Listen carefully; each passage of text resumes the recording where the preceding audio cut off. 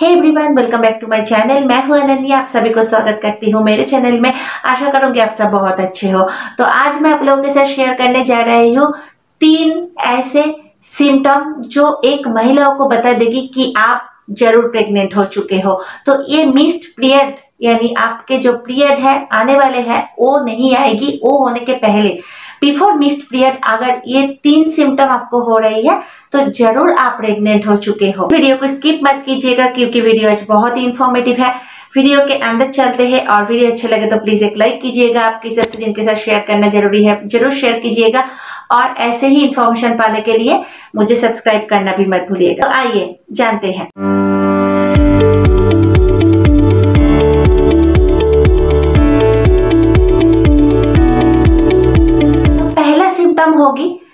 Before missed period यानी आपके period अभी तक नहीं आए हैं, जो डेट है, वो नहीं आए हैं। आप लोग प्लान किए हो और आपका ये अनप्लान प्रेगनेंसी है।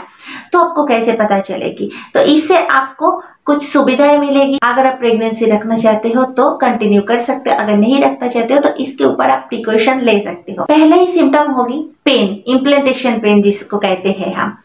तो आफ्टर कंसेप्शन आपको एक पेन महसूस होगी। सिक्स टू ट्वेल्व डेज़ के बाद अगर आपके कंसेप्शन हुआ है चौदह दिन पे या सोलह, उसके छह से बारह दिन के बाद, यानी आपको बीस से 26 दिनों के बाद ये सिग्नल सिम्टम दिखाई देगी, जो है इम्प्लेंटेशन पेन ये आपको होगी स्टमक के एकदम नीचे के हिस्से में, पेट के नीचे के हिस्से में, बाएँ के साइड में हो सकती है और डायने के साइड में हो सकती है। लेफ़्ट राइट दोनों ही साइड में किसी भी एक पे होगी, लेकिन ये एकदम नीचे के हिस्से में हो पेट के एकदम निचले हिस्से में अगर आप कुछ भी चुकने का जैसे दर्द आपको थोड़ा सा महसूस हो रहा है, एकदम सेकंड में ये खत्म हो रही है। ज़्यादा टाइम तक नहीं होगी सेकंड में खत्म हो रही है, लेकिन आपको हल्का सा चुक रही है। तो ये ज़रूर आपके इम्प्लांटेशन पेन है। तो इम्प्लांटेशन पेन क्यों होती है? फर्टिलाइज हुआ अंडा चिपक गई आपके यूटेरस पाल पर। फिटस है वो ग्रो डेवलपमेंट होने का प्रोसेस में है और आपके पेट भी एक्सपैंड करेगी, आपके स्टमक भी एक्सपेंड करेगी, बड़ा होगी, जिसके कारण ये पेन आपको हो सकती है। और थोड़ा सा चुकने का, यानी सुई चुकने का ऐसा पेन आपको होगी। तो इसके कारण होती है इम्प्लांटेशन पेन और पहले ही सिम्टम होगी आपको इम्प्लांटेशन पेन ये थोड़ा सा आप नोटिस कीजिए, आपके साथ शेयर ये सिम्टम हो रही है। तो ये एकदम एक मेन सिम्टम होती है बिफोर मिस्ड पीरियड और ये 20 से 26 दिनों के अंदर ही होती है। नेक्स्ट आपको ब्रेस्ट सोर एंड टेंडरनेस हो सकती है। तो इसे भी ध्यान में रखिए। अगर आपके पीरियड मिस्ड होने के पहले ये सिम्टम हो रही है तो ज़रूर आप प्रेग्नेंट हो चुके हो। तो ये हार्मोन के वजह से हो रही है, आपके शरीर में एसीजी हार्मोन निकल रही है, जिसके कारण ये ब्रेस्ट में पहले इफ़ेक्ट करती है।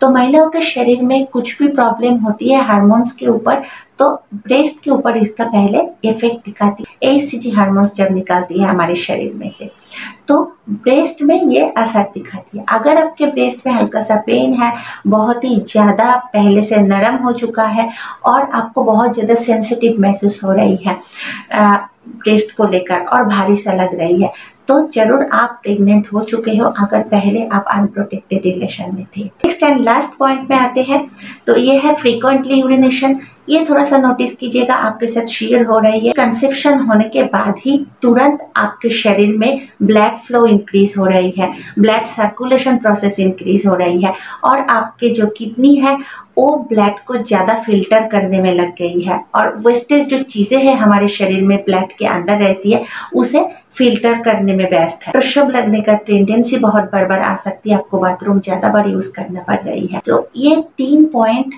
एक महिला को हो रही है।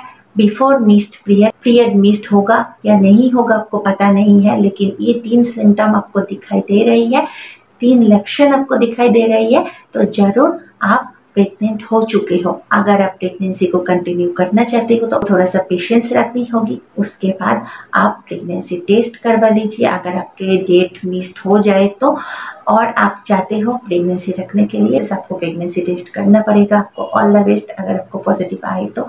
अगर आप नहीं चाहते हो तो भी आपको पेशेंस रखना होगा। डेट आए, उसके बाद आपको जाके प्रेगनेंसी टेस्ट करवानी होगी। अगर आप नहीं चाहते हो प्रेगनेंसी को रखने में तो प्रिकॉशन ले सकते हो डॉक्टर के पास जाके। तो ये था आज का वीडियो बहुत ही इन्फॉर्मेटिव आशा करती हूँ आप लोगों को पसंद आए पसंद आए तो प्लीज़ एक लाइक कीजिएगा और कुछ भी सवाल आपके मन में है तो प्लीज़ कमेंट सेक्शन में आके मुझे बताना मत भूलिएगा।